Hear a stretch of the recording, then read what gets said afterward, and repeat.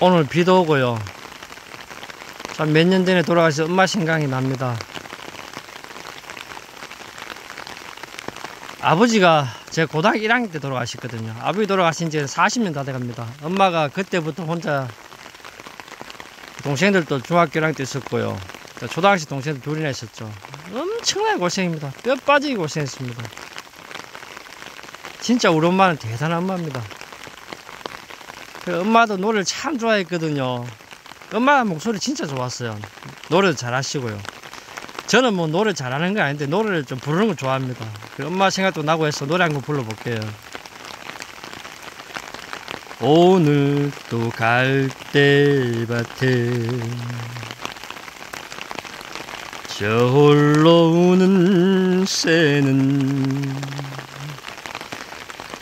내 마음을 알았나봐.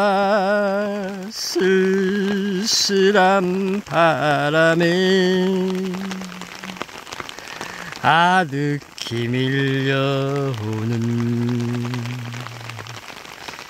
또렷한 그 소리는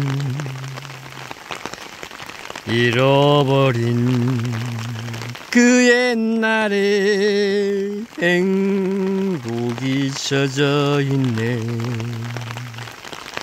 외로움에 지쳐버린 내 마음을 어떻게 말로 다 하나요? 난 몰라요. 이 가슴에 아직 도 못한 사랑 지난 밤 꿈속에서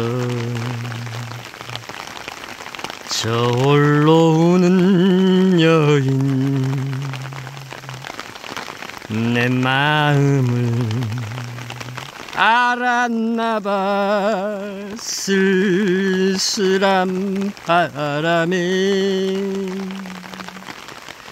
아득히 밀려오는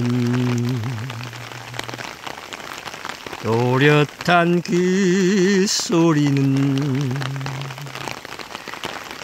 잃어버린 그 옛날에 행복이 젖어 있네. 외로움에 지쳐버린 내 마음을 어떻게 말로 다 하나요? 난 싫어요. 돌아와요. 아직도 못한 사랑.